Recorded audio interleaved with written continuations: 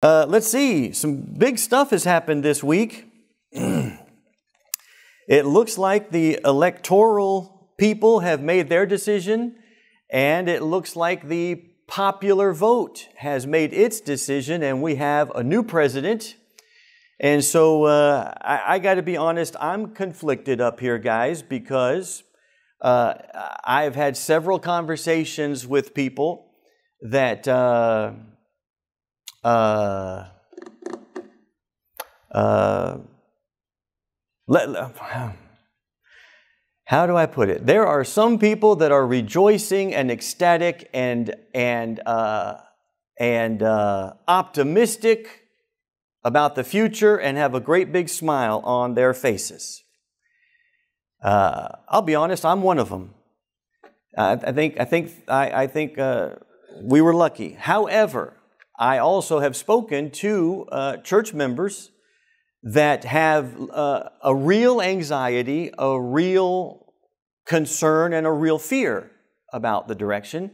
Uh, so it's hard for me to stand up. On one hand, I, I, I want to, you know, feel one way, and on the other hand, I'm mindful of uh, there are some people that are have genuine concern, and so uh, that was the whole plan behind today's sermon, guys, is whether we are optimistic and jumping on our chairs, or whether for whatever reason there is a fear, an anxiety, uh, a despair. Either way, I want to remind us of something very, very important, and that's the point of this sermon. You might want to make sure you have a handout so you can follow along and take some notes. Uh, but so uh, Oh, I'm sorry, guys.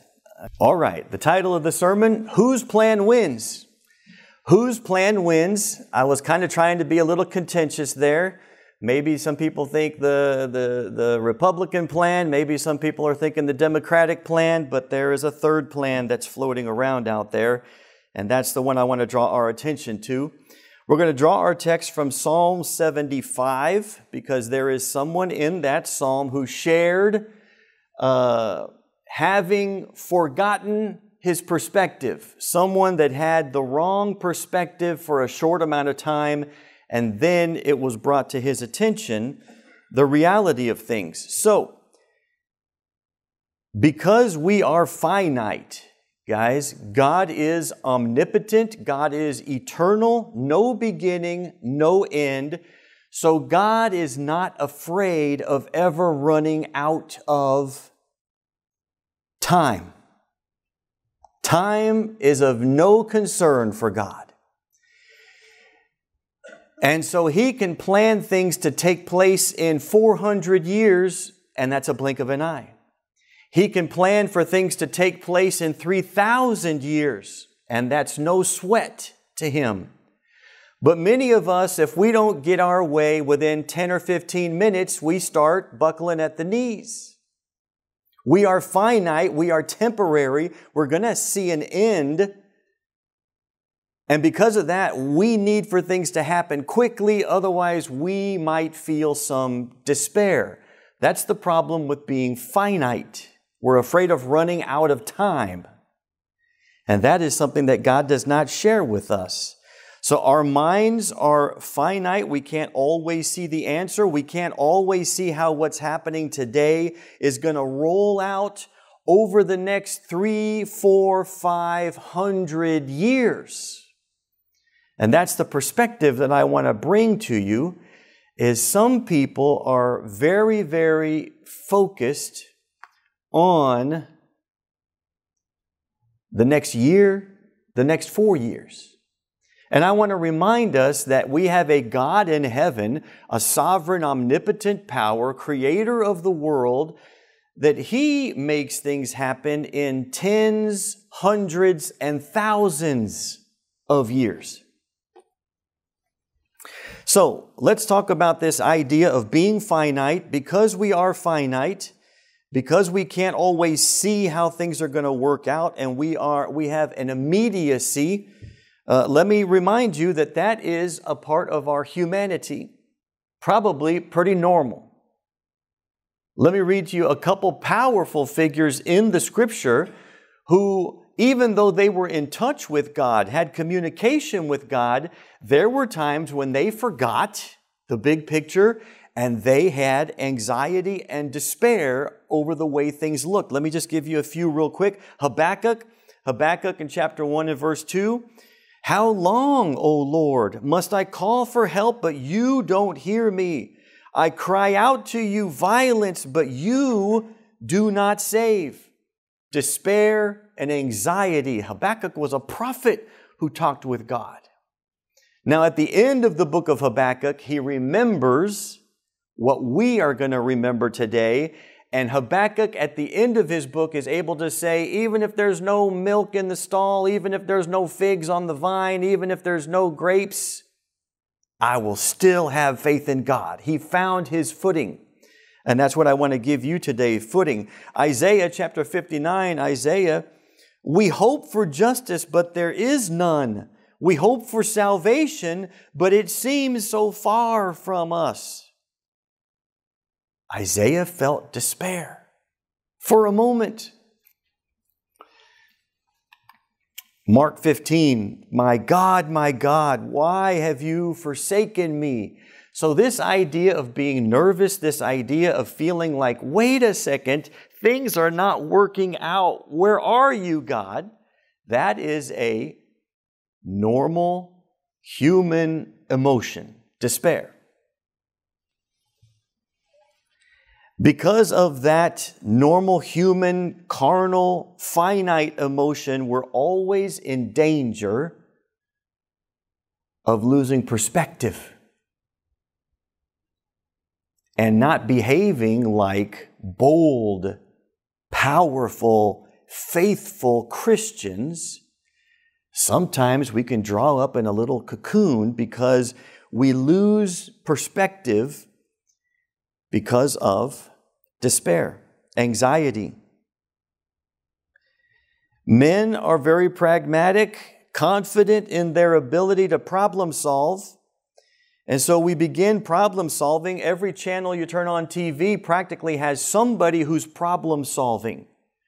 They're predicting what's going to happen. They're predicting what we need to do because of what's already happened. There are a lot of guys who have a lot of opinions because they think that they have the cure. They think that within themselves lies the power to fix everything if everybody would just listen to me. We can lose perspective. People get upset, people get frustrated when they cannot manifest their personal desires when they can't figure out how to further their own agenda. And if we lose sight of what we're going to talk about today, people can become desperate, and that's not your best self. So, we're going to look at a song. This is an actual song that was written to remind Israel whenever they feel despair whenever they feel like their plans aren't working, sing this song to remind you not to lose perspective. When it seems like your agenda is failing, when it seems like you can't imagine how you're ever going to recover from whatever's happening, sing this song and it'll remind you where your focus needs to be. So let's look at that song today. That's going to be Psalm number 75. It's a psalm of Asaph. If you ever wanted to sit down and read the whole story of what we're going to talk about today, read Psalm 73 to Psalm 83. Psalm 73 to Psalm 83 are 10 psalms written by Asaph, and they all deal with the problem of despair, worry, concern, and then remembering where we need to refocus. So let's look at the psalm today. It's called to the choir master according to do not destroy. This is a psalm of Asaph. He says, We give thanks to you, O God, we give thanks for your name is near. We recount your wondrous deeds. And then here's the voice of God. At the set time that I appoint, put a square around that, that I appoint I will judge with equity. And when the earth totters and all of its inhabitants, it is I who steady the pillars. I'd put a square around that. I'm the one that holds things together when you are in despair and fear and concern. Personal pronouns. Love those. Verse 4 I say to the boastful, Do not boast, and to the wicked, Do not lift up your horn. Do not lift up your horn on high or speak with a haughty neck, because it's not from the east or from the west, and it's not from the wilderness that comes lifting up. Verse 6 is a powerful, important verse. But it is God who executes judgment. He puts one down and lifts up another. Verse 8 For in the hand of the Lord there's a cup, foaming wine, well mixed, and he pours out from it, and all the wicked of the earth shall drain it down to the dregs. But I will declare it forever. I will sing praises to the God of Jacob.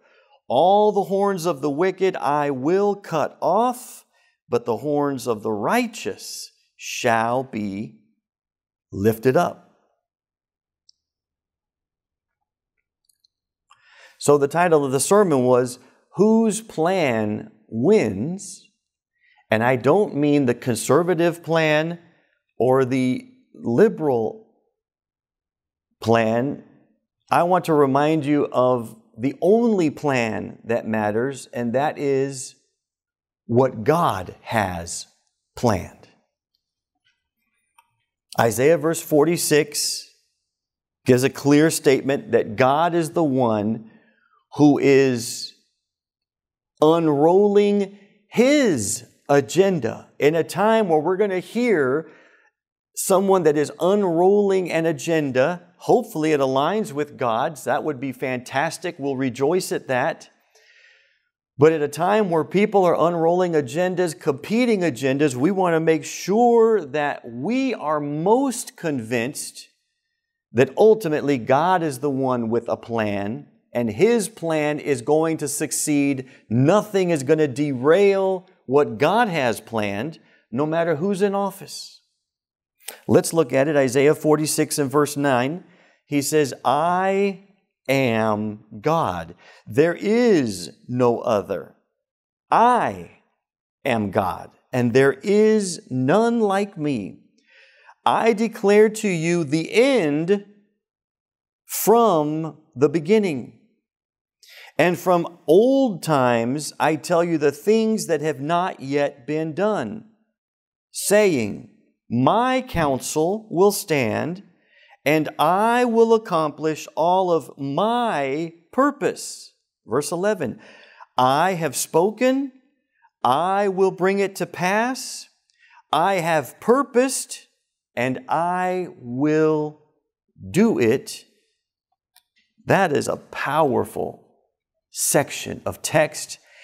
And I hope that in this season, when we're hearing people talking about their plan,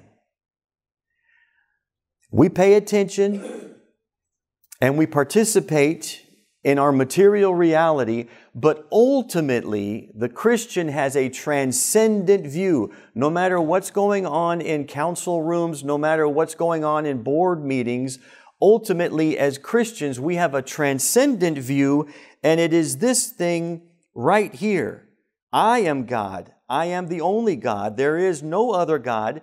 And God reminds us of His omnipotence. He says, I tell you what's going to happen in the end from the very beginning.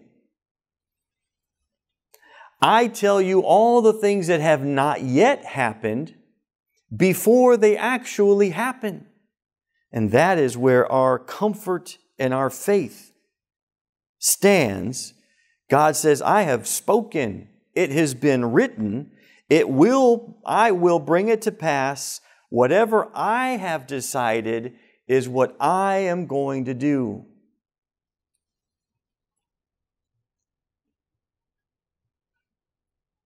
I just want to exhort you to not be confused as to who is really in charge. We are finite, God is eternal. The passage of time,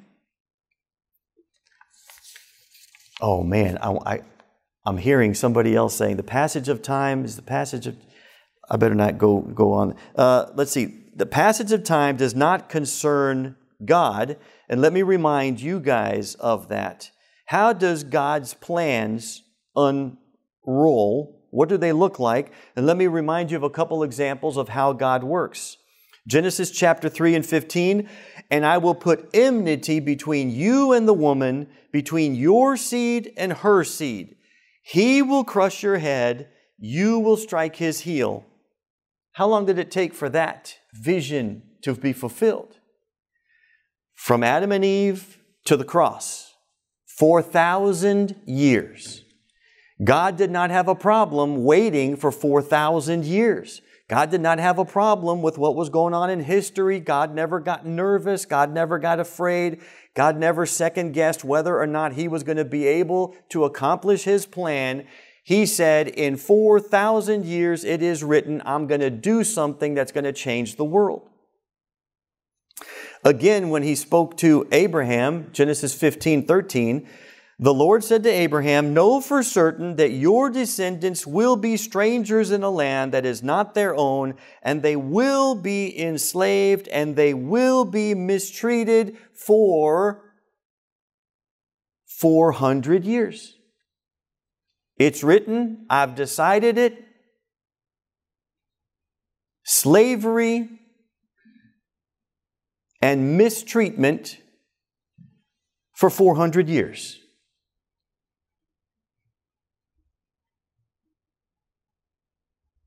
There is something profound. Imagine how many four year presidential terms are swallowed up in a period of 400 years. Is there any one of those four years out of that 400 years that could derail God's plan? Is there any four year period? Hey, let's talk about two terms. Any eight year period that can derail God's 400 year plan? Abraham again, God spoke to him. Abraham uh, found himself uh, living in a time where there was weak, uh, it's not international policy, it's uh, foreign policy. Abraham lived in a time where there was weak foreign policy, and him and his siblings were getting attacked by these evil Amorites.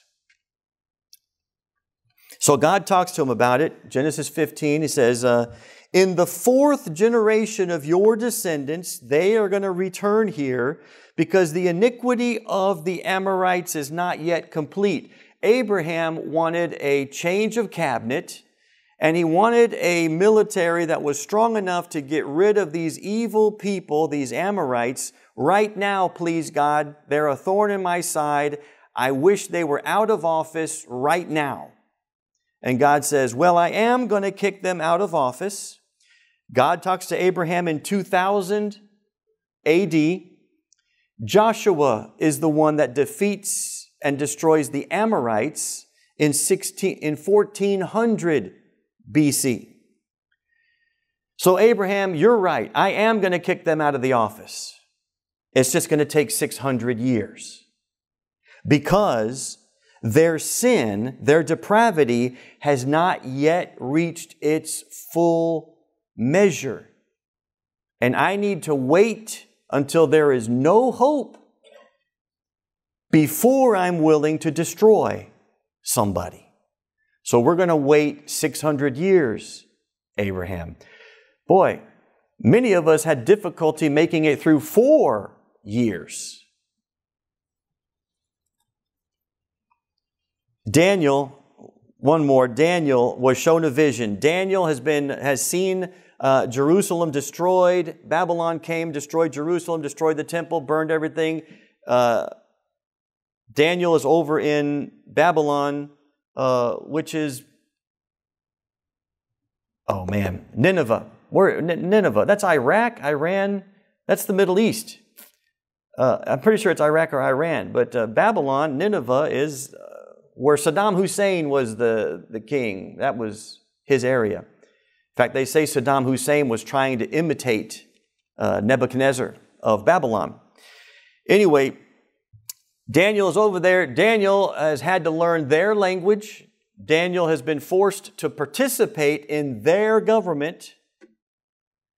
Pretty bad for Daniel. And so Daniel is crying out to God God, how long are you going to let this go on? We want our nation back, our country back, our temple back. We want it back to the way it used to be, God. How long are you going to have to wait? Daniel chapter 2 and 44, God answers them In the days of those kings, the God of heaven will set up a kingdom that will never be destroyed, nor will it be left to another people, and it will shatter all the kingdoms and bring them to an end. God showed Daniel a vision where he said, Daniel, you're going to get what you want, but first, you're going to have to live through the Babylonian Empire and then you're going to die. After the Babylonian Empire is going to come the uh, Medo Persian Empire. Oh, I hope those are in the right order. And then that, na- that uh, world power is going to go, and then they're going to be swallowed up by the uh, Alexander the Great, the Greek Empire, and then they're going to be swallowed up by the Roman Empire. And then in the time of the Roman Empire, I'm going to answer your prayers. Daniel, you only have to wait 520 years.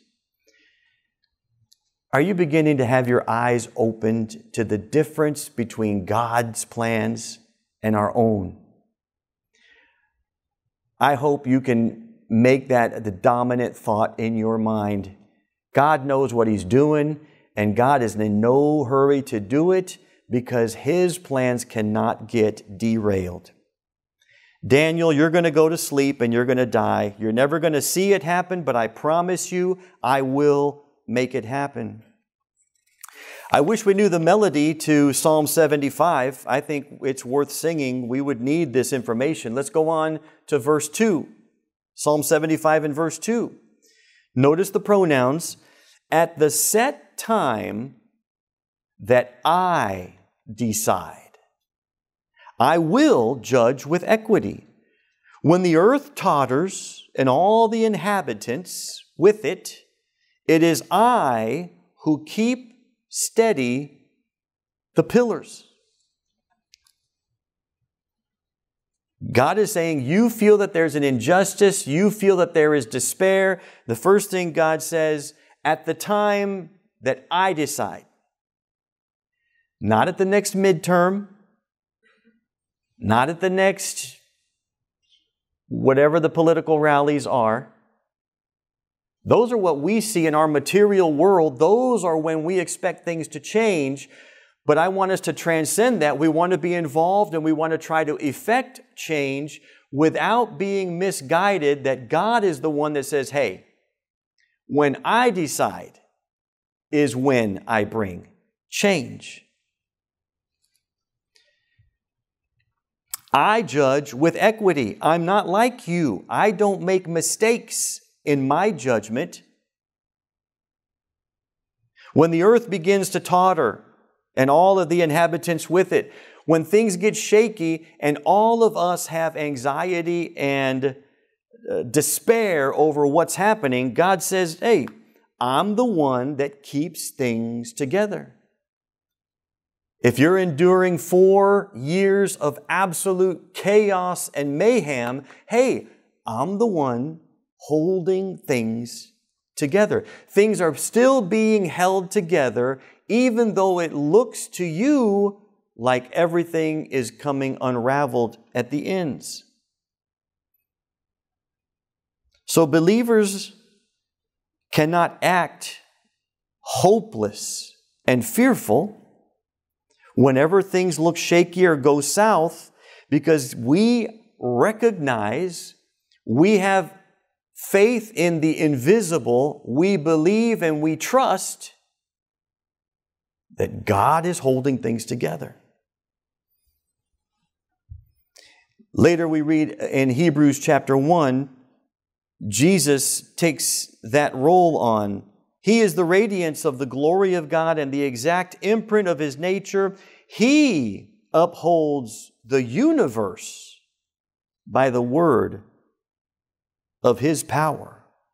The text tells us that Jesus upholds the universe if Jesus can uphold the universe, light years of galaxies, then can we trust that He's got a grip on what's happening in Ukraine? If Jesus holds the universe together, can we trust that He knows what's going on in Gaza right now? You see, we've been called to see stuff that the normal material world doesn't see. They see what's happening before their eyes, and before their eyes, it may look like the earth is melting, falling apart. But to the believer's eyes, we go, don't worry about it. God has got this. Jesus is holding the universe together. Nothing is going to thwart Jesus' plans, God's plans. He's already got it all worked out. He already knows the end from the beginning. Before the Israel Gaza thing ever popped onto the radar, God already knew about it. Before the Ukraine Russian thing ever popped on the radar, God already knew about it. And we should have a comfort and eyes that a lot of our community might not be aware of when they feel desperate, like things are falling apart.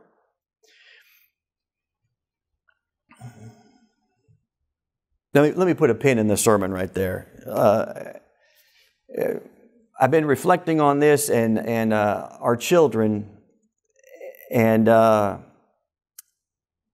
I, I had a, I was on a snowshoeing trip one time, and there was a biology teacher on the snowshoeing trip with me a big group of us. And so she figured out that I was a preacher, and so she walked with me and we had a conversation. Biology teacher, uh, uh, high school or college, I don't remember which one. And she asked Tony, Why do you think our children, moms and dads that are Christians, but our children are not believers? They just don't buy into Christianity. Why do you think that is? And I said, Well, you're a biology teacher. What did you teach your kids about biology? And she goes, Oh, well, evolution, Darwin, Darwin's theory of evolution. It's a fact, Tony. It's a proven fact. It's without dispute. Nobody disputes evolution is the way the world came, came into existence. And I go, But you're a Christian, right? Yeah, of course. So why didn't you say on the first day, God said, Let there be light? Why didn't you go to Genesis which is where Christians go. And she goes, Well, because that's just poetry, and we know beyond any doubt that evolution is how the world came into being. And I go, That's why your kids don't believe. Because you say you're a Christian, but oh, no, no, no, that Genesis story, no, no, no, don't, don't believe that. Believe the science books oh, the political race, there's two, uh, Democrat and Republican, and who's good and who's bad. Uh, pick one, you better pick the right one, rather than saying uh, it's all in God's hands. God is the one who decides. If our conversation doesn't default to God's words, the way God said them, exactly the way He said it, then no wonder children don't have faith in the Bible because parents don't have faith in the Bible. It's going to be hard to pass on to the next generation something that that person themselves doesn't possess. Undisputed faith in the Bible from Genesis to Revelation I'll say exactly what it says, exactly word for word, and I'll be proud to say that's your truth. Not a science book, not a textbook. This is your truth. And you must be able to do that if you want to pass on faith to the next generation.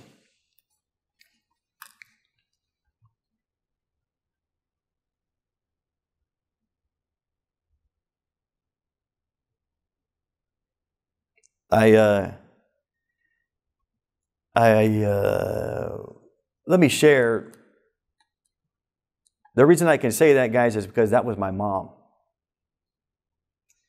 My entire life growing up, my mom would always quote a Bible verse. And I would get furious. Mom, why can't you just talk to me like a mom? Just talk to me with your words. No, Tony, because what God said is the only thing that matters. And, and, and we would get furious. Don't give me Bible verses. Give me your opinion. No, no, because that doesn't matter. This is what God said. And I had that my whole life. I, I don't know what it must have been like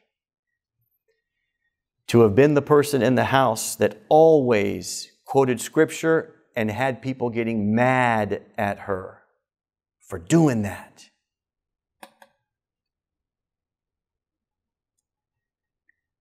I don't know how many years it took, but by God's grace, at 55 years old, everything my mom taught me is now my truth.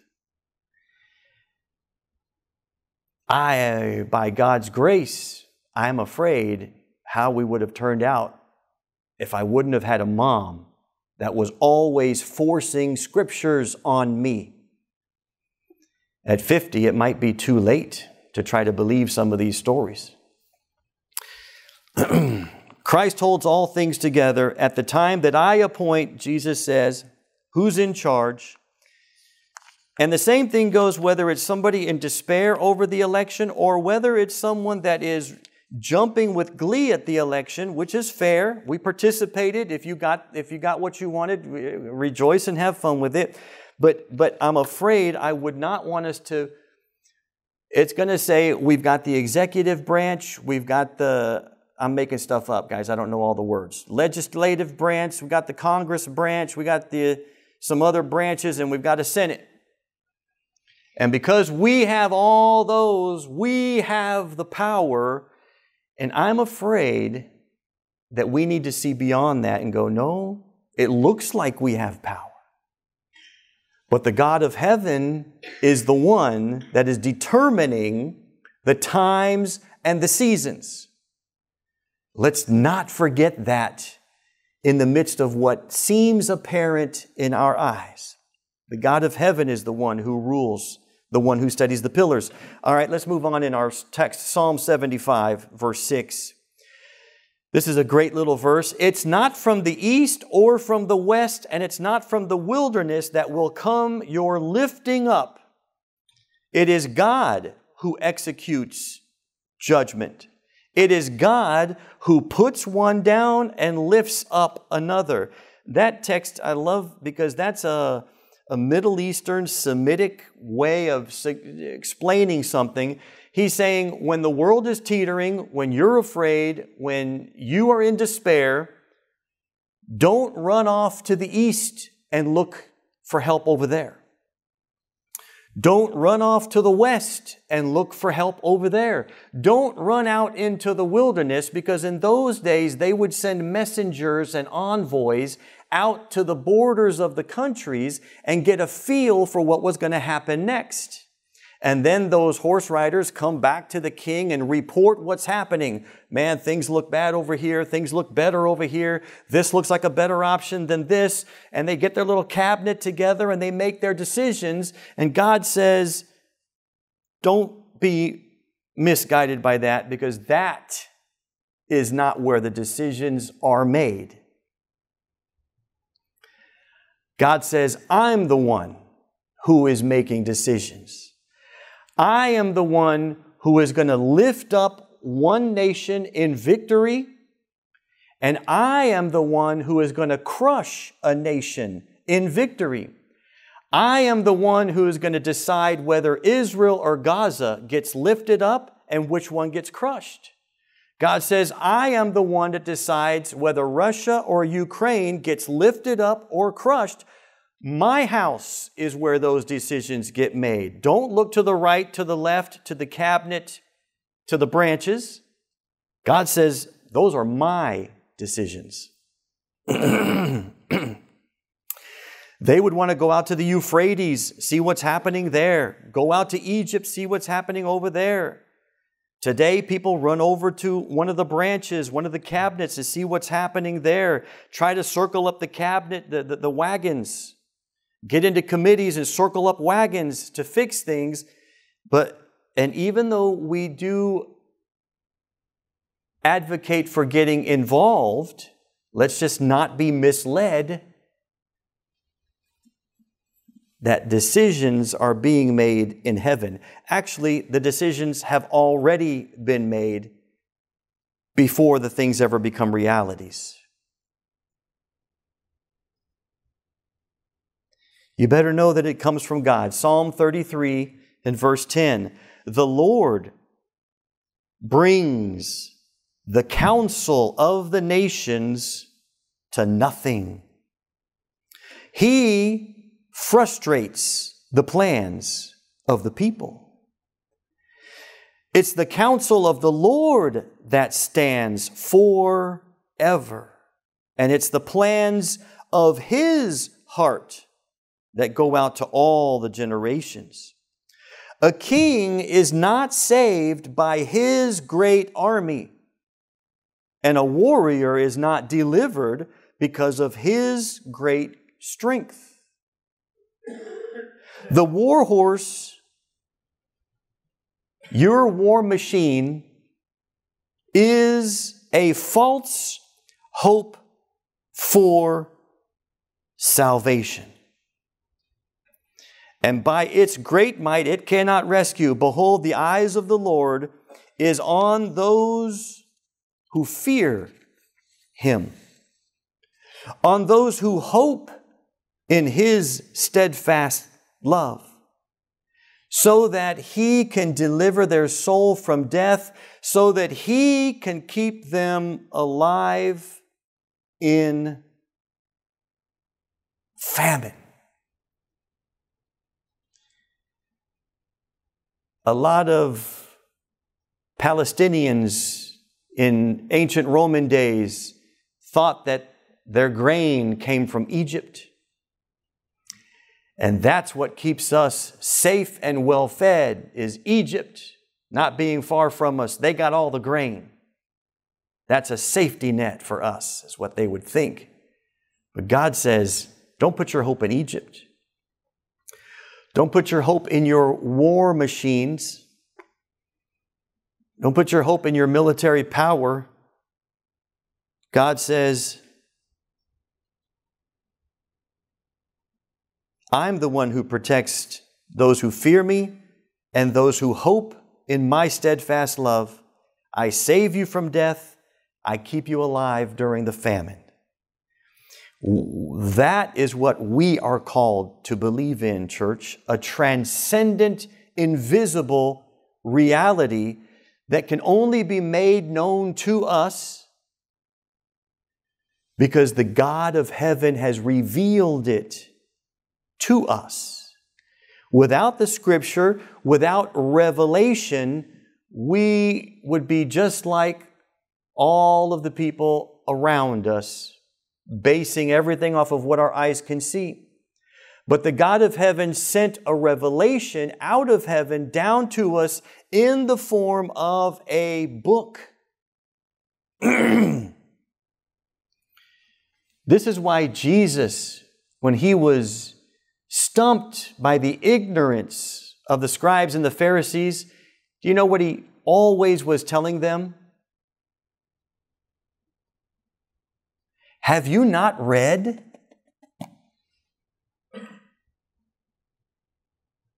That's Jesus' answer. Haven't you read?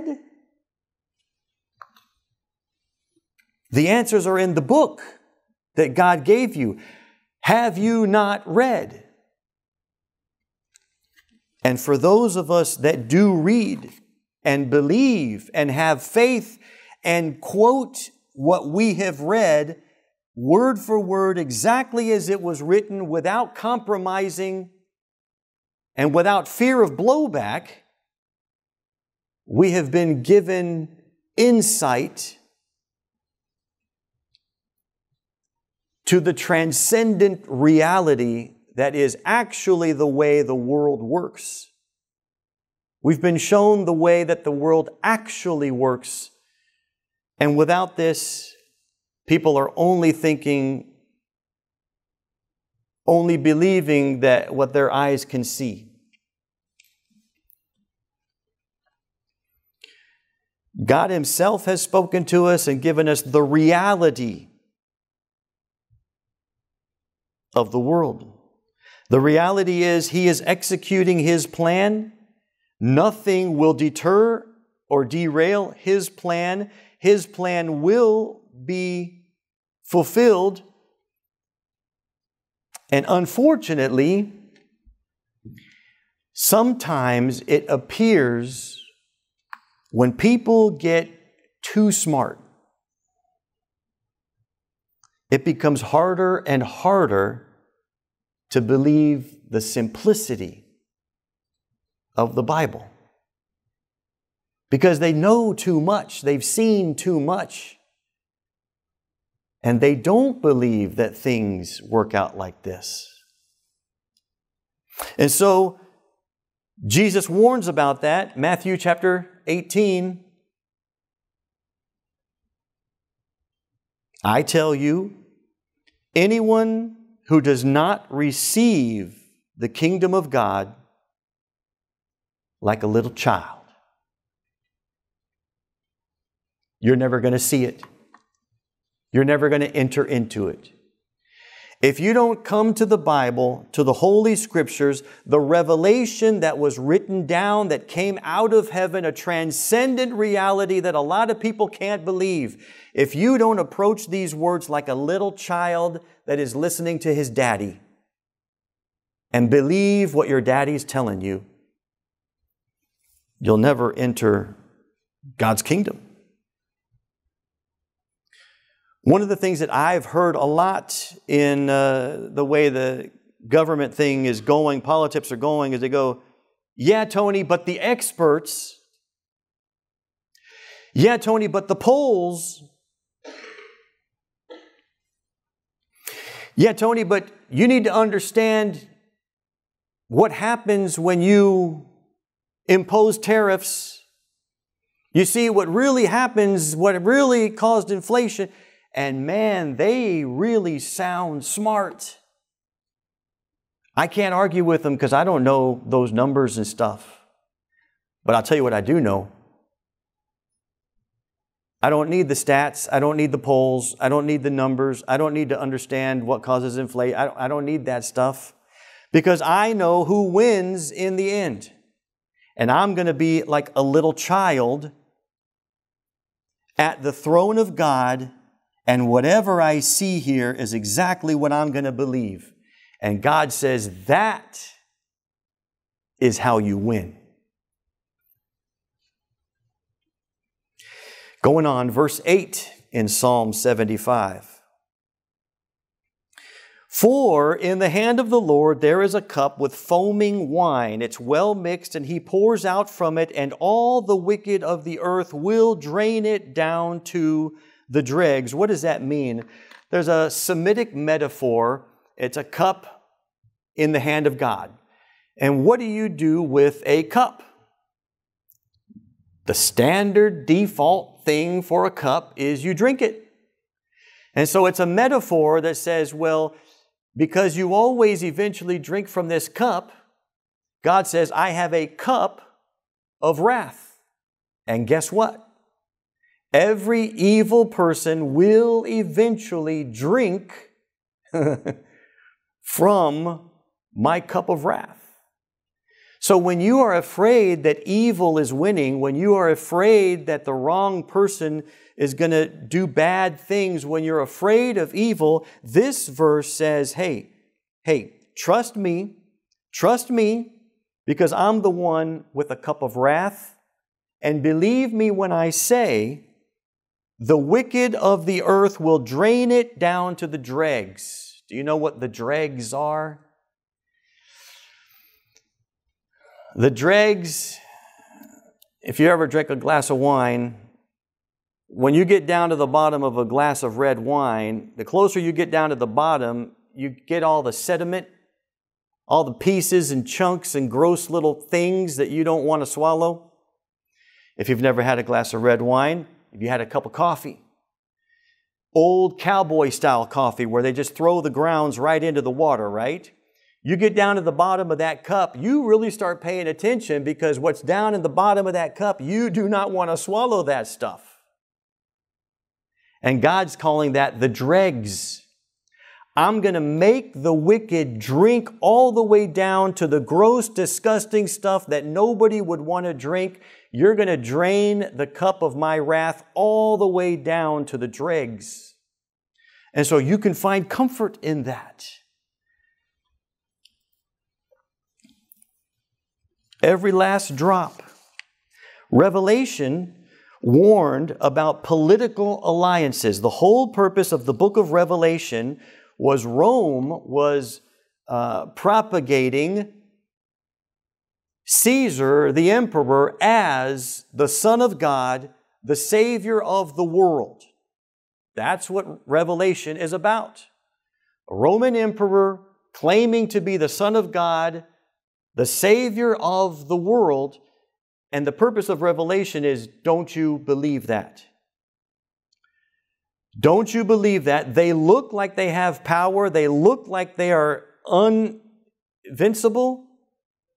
In, they look like they're invincible. Boy, they got shiny Cadillacs and bulletproof stuff and huge caravans of guns following behind. They look invincible. You can't imagine anybody more powerful than them. And God says, Don't you believe it? Because the God who sits in heaven is more powerful than them.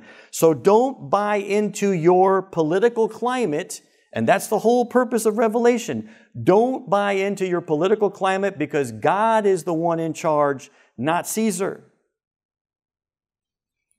So here's what he says Revelation 14 and 9. And then an angel, a third one, followed them, saying with a loud voice, If anyone worships the beast and its image and receives the mark on his forehead or on his hand, he will also drink the wine of God's wrath, poured out full strength into the cup of his anger, and he'll be tormented with fire and sulfur in the presence of many angels. Pause just for a minute there, guys. That verse, worshiping the beast, his image, taking his mark, all metaphorical. The beast is the Caesar. If you take his image on your hand and on your forehead, that is the metaphoric idea of what God commanded Israel to do. Do you remember? God says, Bind my words on your right hand and on your forehead.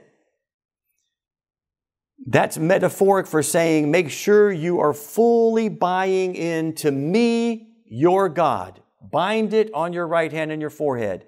Now, if you choose not to do that, and you choose to ally yourself to the beast, if you choose to ally yourself to Caesar and you bind his power on your forehead and your head, then you are going to drink the cup of my wrath. Don't buy into the politics, the clout, the power that you see with your eyes Remember that it's what's invisible in heaven where the true power is. Don't take on any other name. Verse 11 The smoke of their torment will go up forever. They have no rest day or night. These worshippers of the beast and his image, whoever receives the mark of his name, and here it is. Here is a call for the endurance of the saints, those who keep the commandments of God and their faith in Jesus. Keep God's commandments and keep your faith. Because that's where the true power is at. This is an anti political rhetoric. against the power of Rome, against the worship of the emperor. And that's a good wake up call for us in this political season. Last verse, verse 10 All of the horns of the wicked I will cut off, but the horn of the righteous shall be lifted up. A horn was a sign of power. An ox or a bull or whatever, they got those horns. If you've ever seen like a bullfight, those horns are the bull's power. You take those horns off, and he's not as intimidating. So, a bull's horns, what you can get gored with, is a symbol of power. And God says, horns that are lifted up, powerful figures that get lifted up. Sometimes righteous people are the powerful figure that gets lifted up, a horn. Sometimes it's evil people that get lifted up. It's an evil horn. And God says, whatever season you find yourself in, if you're under a powerful righteous horn, then praise God because God is the one that put that horn there. If you're under an evil, wicked horn that has put themselves in power, God says, don't worry about it because I will cut off that horn. And the horn of the righteous will be lifted up. Daniel finally got his hope. Daniel chapter 2. Daniel, in the midst of it, Daniel was in the midst of evil horns, wicked horns. God, what are you going to do? And even though Daniel voiced his concern, his desperation, his anxiety,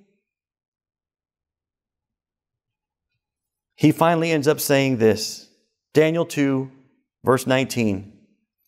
And then Daniel praised the God of heaven and said, Praise be to the name of God forever and ever. Wisdom and power are His. He changes the times and the season.